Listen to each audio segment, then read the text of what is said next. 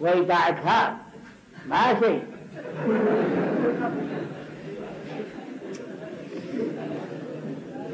قلنا لا يتحقش قبالة هتسمع؟ وهم بيتذاكروا في العلم كيف عاد حد يسمعوا قر حتى لا عنده. وقال يجوز للرجل أن يجامع زوجته من أزواجه في يوم واحد في آن واحد. ما بس مانع عنده فيها يدخل من عند هذا ويسد هذا عند الثاني. غير من قوته. ما حكم أخذ الزوج شيئا من ذهب زوجته. وأن طلب من عاده هل يلزم أن يعيد ذلك؟ لا يجوز للإنسان أن ينظر زوجته ولا بنته ولا أخته ولا شيء. المرأة مثل الرجل لها حق ولها إحساس. ما معنى يتسلف لها ويرجع يبطلها هذا بيتسلف منها ويرجع يبطلها وبعدها يطلقها. هذا حرام. هذاك ما يسمونه الآن باهر ويعطى مؤخرا وهناك شرط يدفعه الرجل لهذا المرأة وهناك صداق عند الدخول بالمرأة فما هو الفرق بين هذه الثلاثة وما هو الحق منها؟ وما هو الباطل؟ هذا الصداق شيء ثاني حتى تكتشف ما تكتشفها بعد ما تبتدي التوضيحات هذا مش مشروع وهذا الشر يعني الضوء الذي يقوم بأمور العرس يسمى شر. هذا يعطى الأب أو الأخ الذي يقوم بأمر العرس. أما المعرفة والشرعي الثابت في الكتاب والسنة والإجماع فيعطى للمرأة لأن ذلك حين تكون المرأة تتربى عند ناس والذي يعقدها ناس آخرين فكل واحد يشتري يشل الفلوس له. فأنا أجاوب عليه المهر للزوج ليس لأحد. أما الشرط فهو لمن سيقوم بالعرس. إما زوج أمها أو أبوها أو أخوها من سيحلف على الناس ويفتح بيته يأخذ الفلوس. أما المهر فهو الشرعي الذي هو للبراءة. ما معنى قوله تعالى ولا تبصر صدر النحلة. يعني اعطوهن المهر. النحلة والصداق والمهر معنى واحد. وما حكم تعالى عز وجل وعجبت الله تعالى الأولاد ولم يعطيه شيء من المهر يجب عليه أن يبرم فوق ويتي المهر لأن بعض البيت المهر إلا وقدوا في المغسل. بعد ما يصيب بمهر ملكه وما يسلمه لها إلا وقدوا في القبر هذا حرام. وبعضهم ما يتي مهر مهرجان البريه إلا وقدوا في المحكمة. حال ما يطالب هذا الشيء ويطالب بالمهر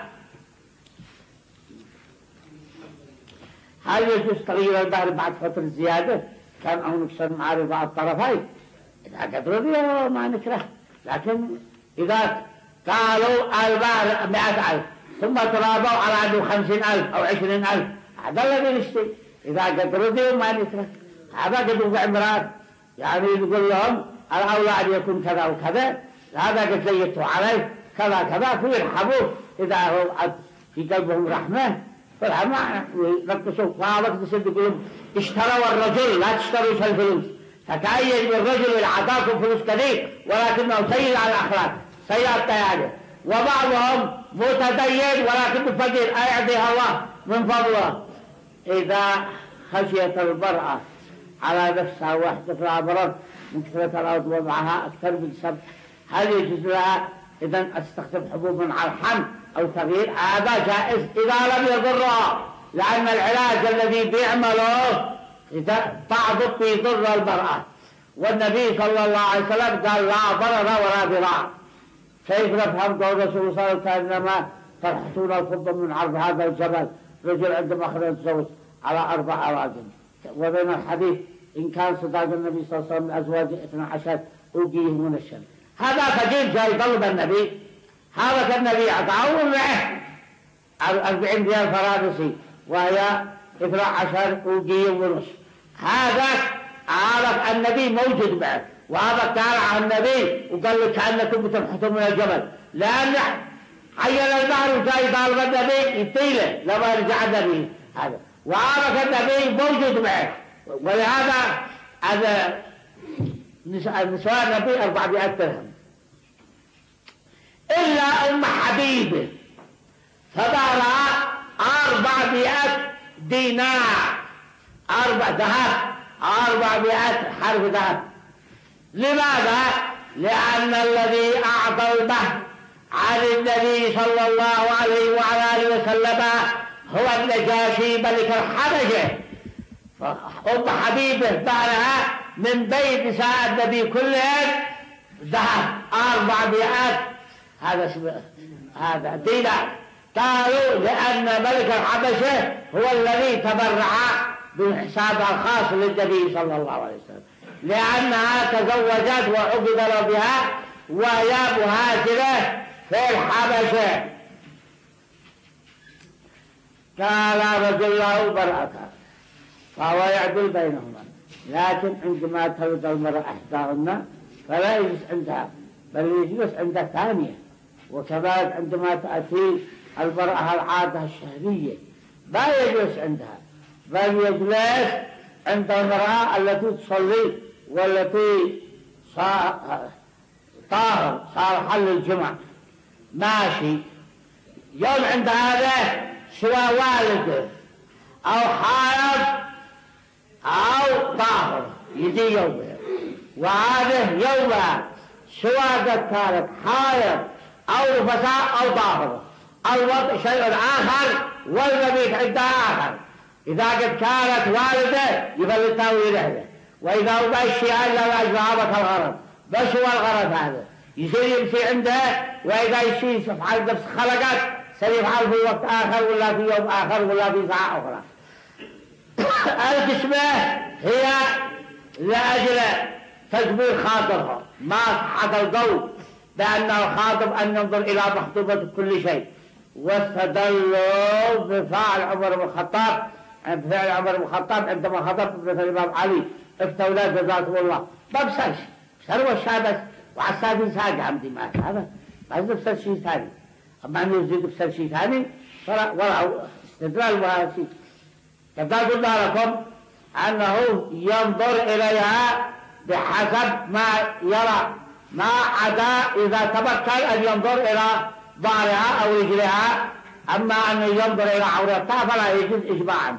إذا عقد رجل لبنته التي قد تزوجت على رجل فأخطأ في اسمها قال هذا العقد باطل أم صحيح؟ قال زوجتك بابنتي مريم. ومريم هذه كذي مزوجة وجود العقد وعدم على الصحيح. زوجتك بابنتي فاطمة. ما نسمع فاطمة؟ لا مزوجة ولا مسلمة ما يصح صراحة ولو هي موجودة. ها؟ ولو في فاطمة ومريم لا لا. واشتي مريم؟ اشتي يزوجك مريم مثلا؟ وبعده؟ قال زوجتك بفاطمة. ها؟ قال بفاطمة. وهذا الجمال يطول فاطمة. ما أنا محله شيء خيلة. ما تبقى تسمع فاطمة فقدوا نصيبه إلا إذا تراضوا ويطلقها وإذا هذا ويصير يتزوج مكاني إذا كان علماء اليمن اتفقوا قدروا المهر بينه وبين 40 ريال أو قرش وكان الريال 12000 درهم ولو نظرنا إلى الحالة الآن نحن في القرن العشرين والصحابة أو التابعين كانوا في خير القرون ممكن أن تقل المهر يطلق إذا كان النهر رخيص يجيب واحدة غيره ما نفعل أظن أن الشروط إني باهر من أجل هذا الشيء لأنه يطلق كافر الوقت. سوا فالآن رواج ما تستشرك إنه رواج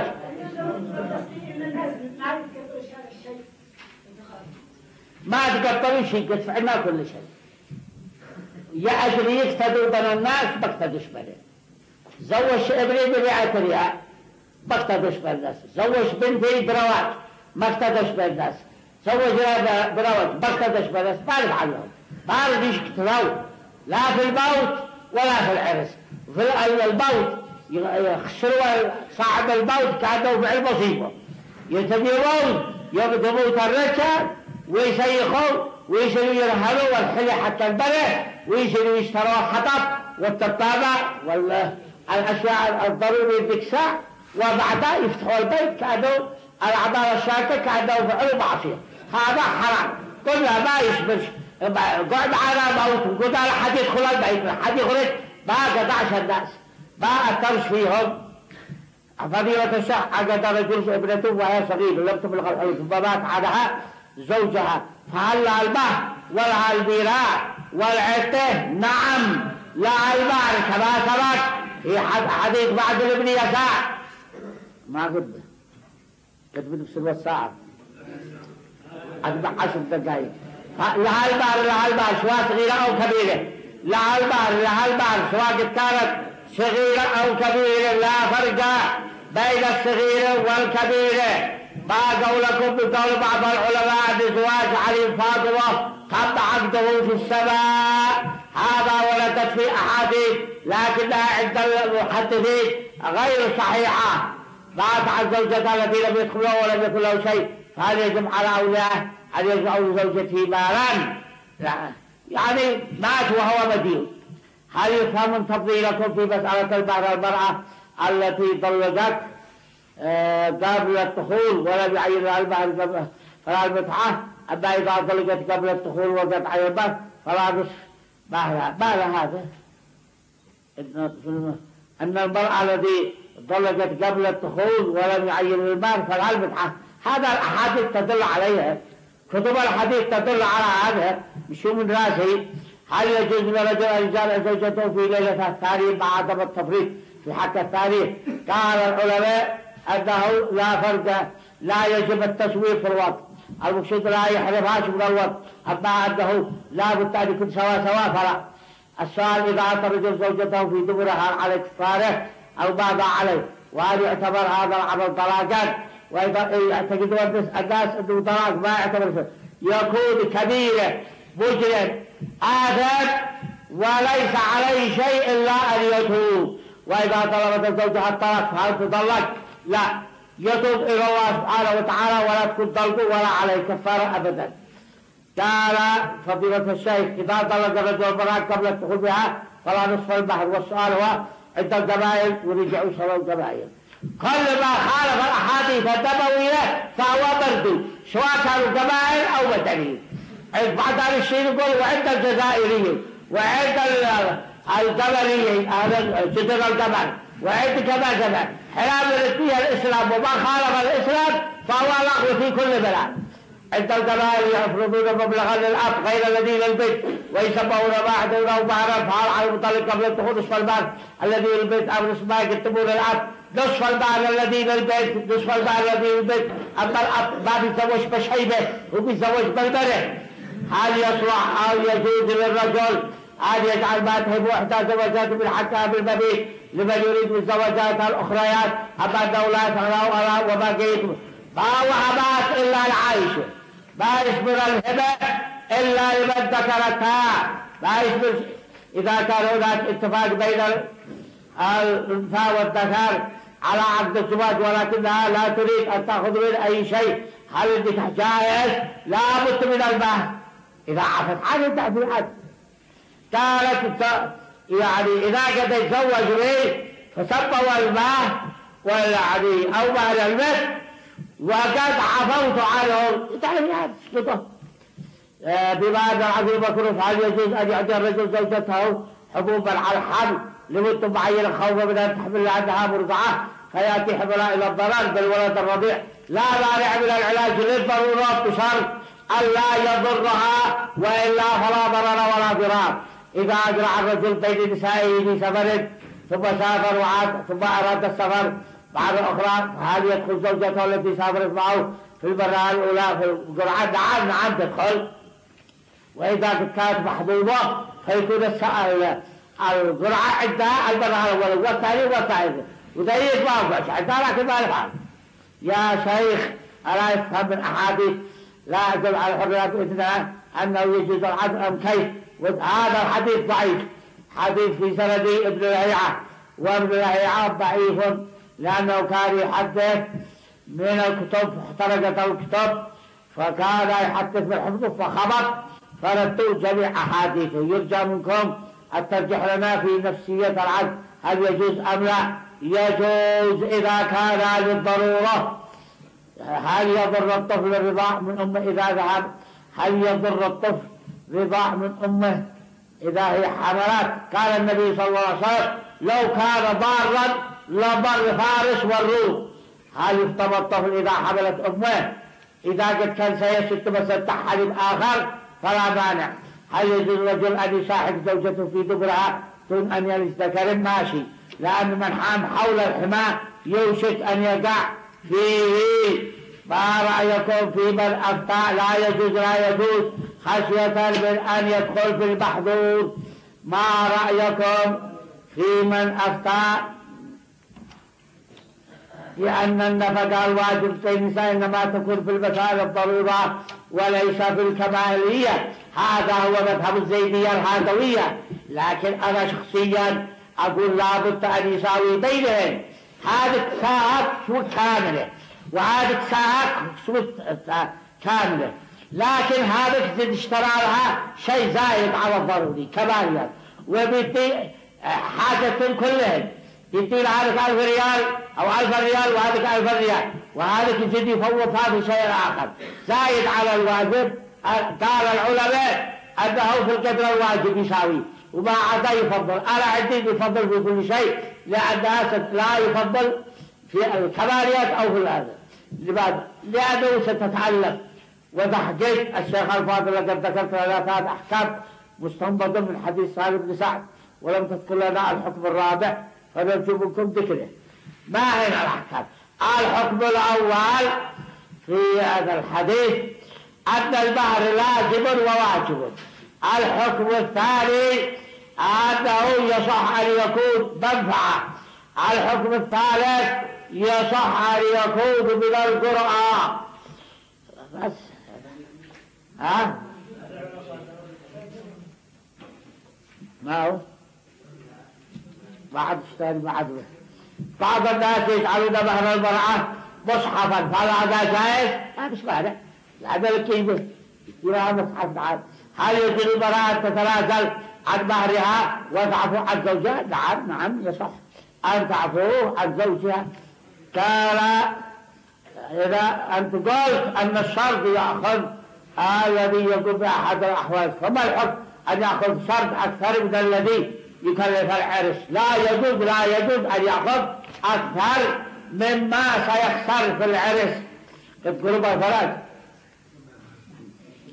أقول ثلاث دقائق يا شيخ يقول الله تعالى في الآية وآتيكم إحداهن قنطارا والقنطار والشاة تميل وبعد ذلك قال يستحق أن يكون كبيرا من أن يسحق ما يسحق ولا من ولد يفهم بالآيات. يقول لا تأخذوا منهن شيء. حتى لو اتيتوا لهن قنطار والقنطار ملان جلد الثوب ذهب فلا ينبغي لكم أن تسترجعوا تلشلوا يعني خلوا حكى بعدين سبيتوا ما بيقول مستحب ولا بيحاكم من المستحب في بالك كما يقول يعني تصدقوا ولو بظلف محرك ولو بظلف محرك محمد ظلف المحرك لا يباع ولا يشترى ولا يتصدق به ولا يؤكل ولا يشرب ولا شيء لكن مبالغة. وهذا وقال النبي صلى الله عليه وسلم دبنا مسجدا ولو كمفحص كذا بقعة تجلس فيها الحباب. هل هذا يشاع في المسجد؟ مبالغة. هكذا. وهذا مبالغة. يقول لو كنت سميتها وأعطيتها تنكر ليس له حق أن تأخذوا منه شيئا. مبالغة. ها؟ قال ما رأيكم في يا شيخ فإني طالب في الكلية منقطع عن البيت ولا أملك إمكانية لكي أسكن على بيتي في هنا. وأخشى أن أن أتالي أن أتالي ولد ألا يتربى تربية إسلامية. لكوني بعيد عنه فهل يجوز لي استعمال الوعد الخفي هذا. هذه كذي الضرورة الضرورة جائز. لكن تستسوي وعد خفي لكن ما بيستوش ما بيحتكمش. ما عبر ما بيقع. كلهم بيحاولوا يعزلوا ما يكلمهم بيقول بس بغير اختيار. إذا قد كثر الله. هل يجب أن يعطي الرجل زوجته الأولى مثل ما أعطى الثاني مع عرس والكساب من أجل العدل؟ إذا أنه لا يجب على أن هذا مجتمع عند القبائل يسمى كسوة الطباع. وجزاكم الله خيرا. يعني يعطي لها مقابل أنه يطيب خاطرها. لا مقابل أنه يطيب خاطرها. لا بأس. ما حكم يتلاعب بالبه وما حكم الشرطة يدور المبلغ العلم لا يجوز أن يترعب المهد يجب على الإنسان أن يبري من فوق نبتته ويسلم لزوجته المال. إذا تزوج الرجل بعد فترة وقد أنجبت طفلا واكتشف أن برص أن بها برص ولم يكن يعلم ذلك برص فما هو الحل؟ هل يطلقها يبكيها يبكيها وإذا أراد أن يسخى في السخاء ولكن ما عاد يريد المال بل يطالب المال الذي غره وزوجه في حين أن فيها برص أما إذا حادث بعد أمرها هل تجب نفقة العدة على الزوج. وكم مقدارها؟ نعم يجب. نفقة العدة حتى مقدارها فلا يكتر من وسط الكلية. إنما يكترها الحاضرون بحسب الزمان والمكان ومعاش الرجل وحالته وضرورياته ما يكتروش النفقة غيابيا وإنما يكترون بعد أن يدرسوا الظروف. هذا الذي قد سبق. أن جوبنا عليه وهذا الباقي حتى خلوهن للأسبوع الثاني. إلى هنا وصلى الله على محمد.